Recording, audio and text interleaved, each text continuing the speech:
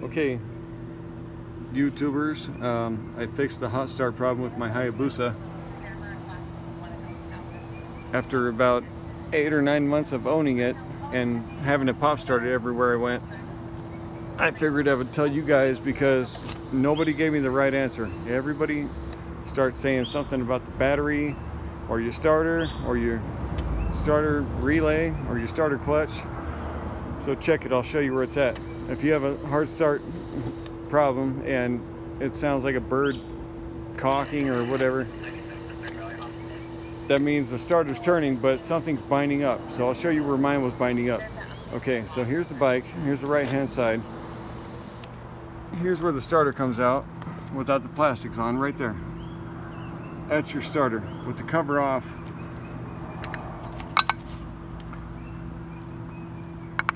with this cover off, you're gonna see this inside. And on the inside of that, this idler gear comes off of. And it might have a, a wave washer in between it. A wave washer is a washer that comes up in waves. So it doesn't have all points contacted at, at, at the same time. So um, when you take this off, this steel pin, I put grease on mine, that's why it's staying, but this steel pin should not walk around like this shit.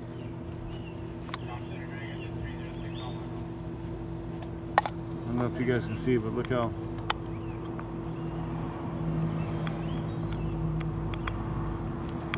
it should be totally tight. Now I just got all new gears for this. This is called the starter clutch right here.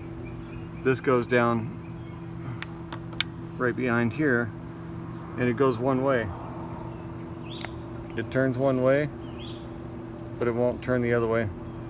That way when the motor's running, it'll let it slide and spin without turning all the other shit. And this uh, this idler gear, this is from a 2003 up. In between those teeth, it has uh, clutch discs. In case the compression from the motor turns backwards, it won't ruin everything up in the starter part. So anyway, what I found out was this part inside of the, the housing cover was very loose and sloppy. And there's too many people talking about hot start problems to think that this is just an accident that mine had it. I think it was bad mold in the first place.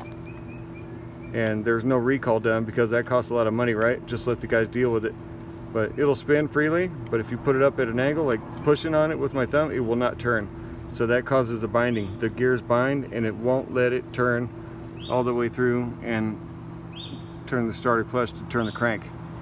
So that's most likely where the problem is. I've heard of other people talking about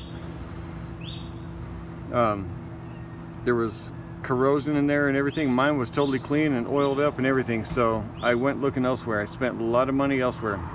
Starter relays. Um, I, almost, I was about ready to do a harness, dude. But anyway, let me know if this helped you guys out.